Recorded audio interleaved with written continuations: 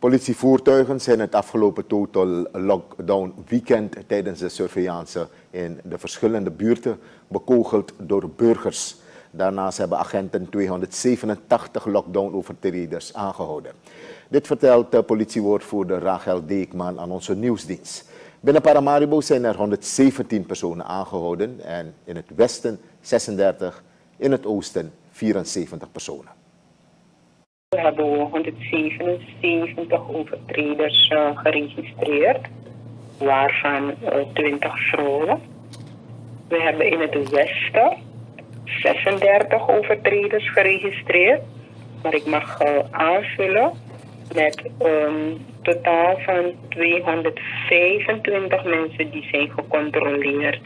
Ja. Van 225 zijn dus 36 overtreders geweest.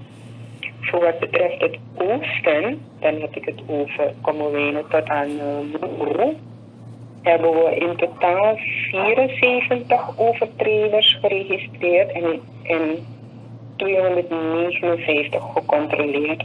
Van die 259 gecontroleerde personen zijn 74 overtreders geweest. Dus dat is voor wat betreft uh, de lockdown-overtreders.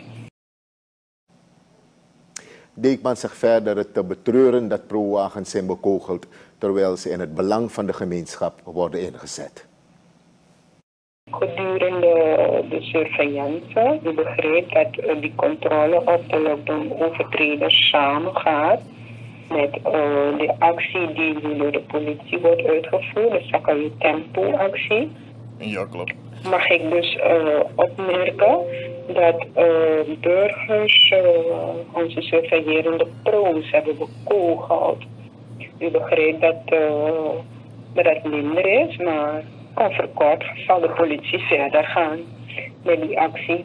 Het is niet netjes, het is niet gepast als de politie surveilleert met het doel om die samenleving in elk geval om de, veiligheid op peil te houden. En het, is, uh, het zijn de burgers uit die samenleving. Uh, met stenen gooien, dat het niet, niet geoorloofd is. Politiewoordvoerder Rachel Deegman. Ze geeft verder aan dat ondanks de ongeoorloofde handelingen van burgers de acties onverkort zullen worden voortgezet. Ze doet ook een beroep op de gemeenschap om de nummers voor spoedaanvragen niet onnodig bezet te houden.